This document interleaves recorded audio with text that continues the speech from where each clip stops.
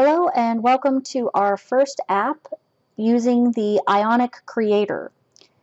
So your first step obviously is going to be to come out to the Creator website and get set up with a account. Now as I talked about in the Getting Started section, I'm going to be using Creator for my demonstrations. I will show you the code side of those if you're going to be working in Visual Studio using the Cordova. But uh, this is not a free tool. You will have to pay if you want to use the coding section. You can use just the layout section if you want for free. And I'll show you how you can do that and how you can build your UIs and download your project.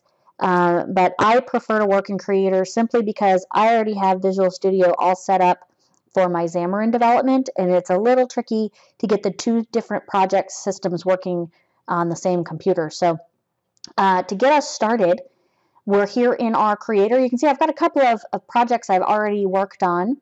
Uh, but to get started, you'll click on New Project and you'll give it a name. So this is our Hello World app, so I'm just going to name this Hello World.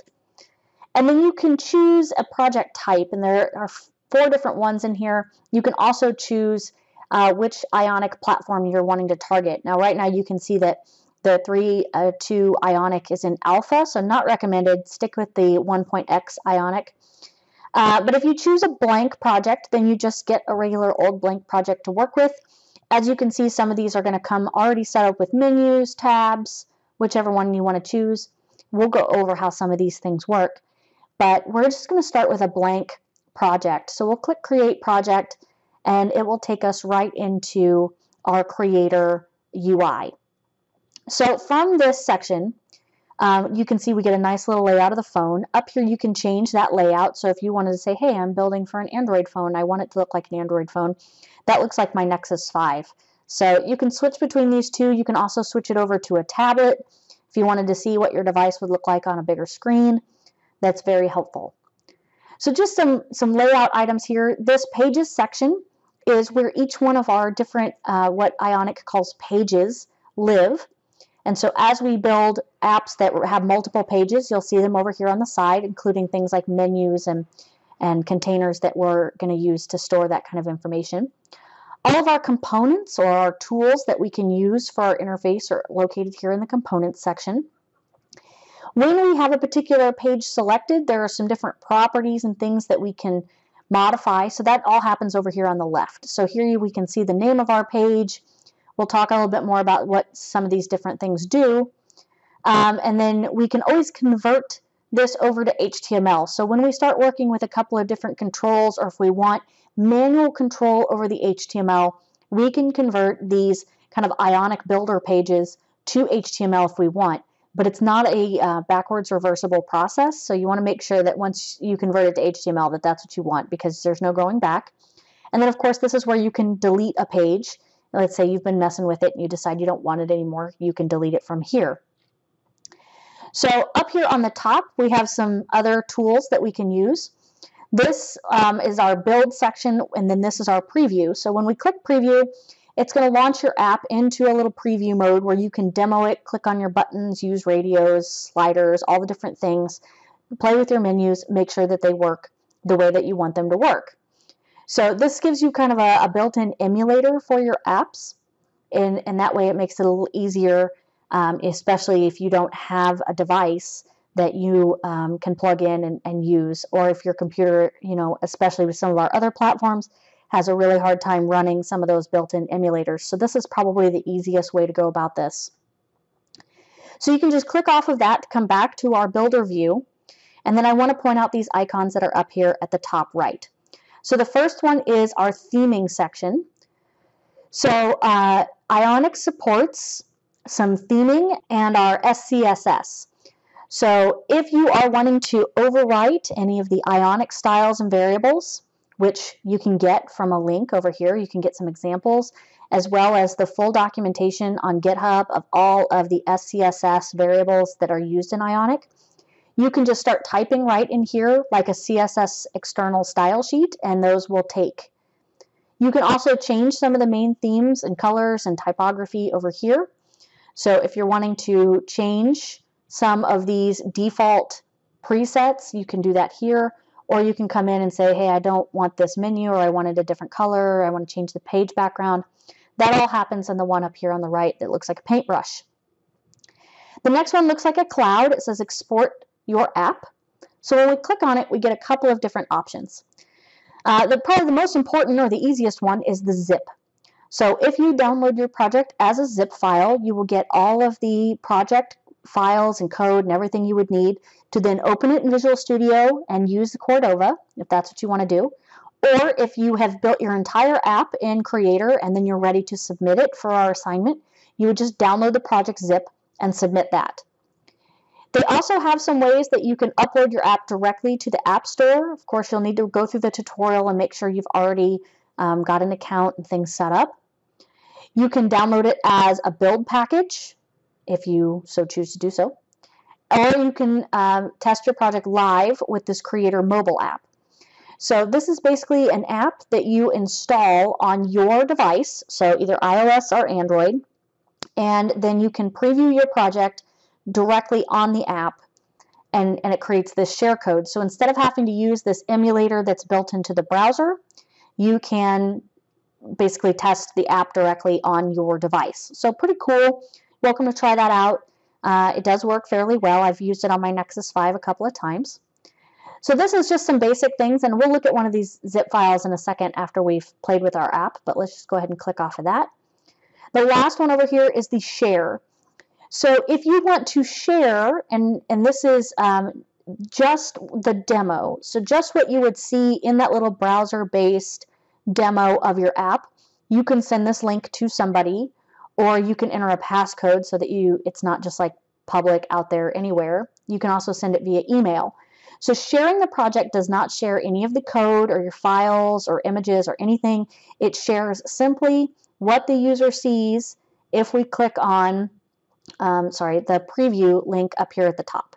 So they get a window that looks like this and then they can demo your app and play with it, but they don't get any of the code behind. So that's not a suitable way, this share is not a suitable way to try to turn your work in. If you send me an email with this, all I'm going to get is a demo. I'm not going to get your code like I would if you come over here to export and download the project zip. So just keep that in mind if that's something that you're thinking about. Okay, so let's start by putting some controls on our page so that you can see how this works. Um, so let's say I just want a basic heading. I would grab this component and I would just drop it right onto the page. And then I can come over here and choose what I want it to say. So my first app, right, just whatever you want to put in there. You can change the size, you can change the color, you can align it. You can put in CSS style classes here if you want. Then let's say I want a paragraph. So I'm going to come over here and pull down a paragraph. You can see that there is markdown allowed in these uh, paragraph sections. If you're not sure how to use the markdown, you can go up here to the help section and pull up the creator uh, documentation for the markdown. But we could just put some code in here. This is my first Ionic app. I built it with the creator right? Whatever you want to put in there. And so we can see that that shows up as a nice little paragraph in here. Now at this point, you can go ahead and, and check it out, right? Click preview. And so we can see this is what our app would look like uh, for our user. And maybe you also want an image. So we can pull an image control over and then you can decide if you want to upload an image or you can switch to text input if you're providing the URL to a publicly available image. If we want to upload an image, we select upload and then we'll get the upload window where we can choose a file. And I'm going to choose a file that I have on my desktop of Pusheen because if you know me, you know I like Pusheen. All right, so now we can see what our app looks like. All right, we get our text, we get our image. So at this point, if we wanted to uh, turn this in as our first uh, app made with the Ionic Creator, we would come over here to the export and we would download the project zip. So I now have a zip file that I can open. So here are the files that were downloaded and we can see that we have um, a nice file structure here. So let's talk about what goes on inside of an Ionic project. So the first thing we'll see here is there's an index.html file. And if we actually open this up, let me open this with Notepad so you can see. This is just a basic HTML file. Now this is the file that is opened when uh, your Ionic project first loads. Actually, let's try that in Visual Studio because that looks pretty messy. There, that's a little nicer to read.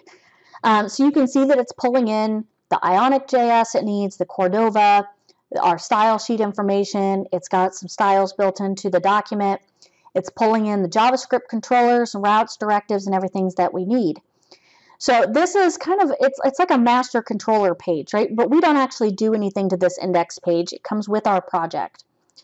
So looking through the folders that are in here, we can see the image folder contains that image that I uploaded. Uh, the JS contains a couple of different JavaScript files that we can look at. So the first one is our app.js. And if we look at the comments up here, it gives us some help on what we're doing with some of these various JavaScript files.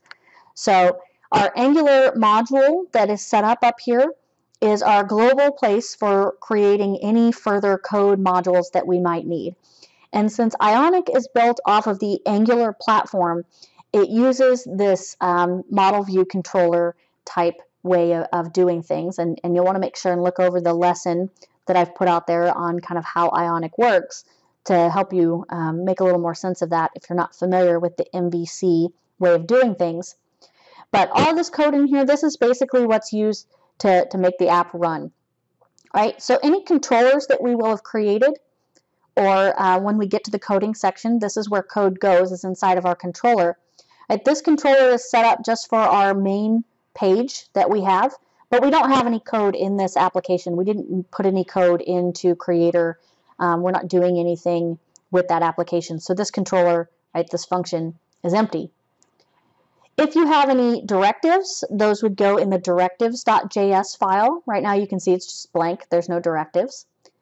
And then routes is what tells the Ionic system which pages to load and which controllers are in charge when we start moving around and creating multiple pages inside of our application.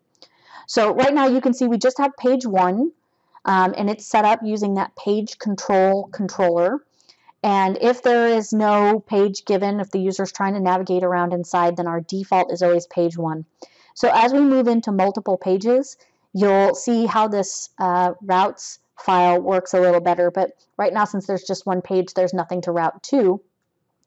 The last one is services. So if you have any factories or services, outside modules that you're using and, and dependencies for your, your project, those would go in here. So right now there's, there's nothing going on in there, as you can see. And then coming back over to our file, right, our lib contains all of the main ionic things that we need. And then templates. So templates is where our pages that we create actually live. So this is our page.html. This is the actual page that we're seeing when we load the app. So we can see there's that image, that Pusheen image. There's that uh, little text paragraph block I created. And there's that heading I created. Now Ionic, being built on Angular, is just HTML. And so we can see some very familiar HTML style tags in here. Right? So like I said, if you want to build your UIs in Creator then download the zip. You're going to get all of these files, and then you can start building your JavaScript code out here in your JavaScript files that it gives you if you don't want to pay for Creator. Because if we come back over to the Creator, the code section is down here at the bottom. Right? We click on this code, and we get this pop-up window. If you don't have, uh, oops, if you don't have a paid subscription to Creator, you won't be able to access this section down here. But when we get into writing some code and things, I'll, I'll give you a little more tour of the coding section and where we put our Angular directives. Um, but I just wanted to point that out. So this has been our little getting started video. Hopefully you can come in and create um, kind of a basic Hello World application to show that you have everything working. You can come in and build your, uh, your app and do your presentation for the discussion board. And of course, if you're having any trouble, please feel free to uh, send me an email or um, leave me a comment. And that way I can uh, try to help you get it sorted out. So uh, once you've got this done, you can go ahead and start moving on to the next lesson where we're going to look at how to use some of these various controls and then of course starting to write some code so that we can make uh, some more interesting apps.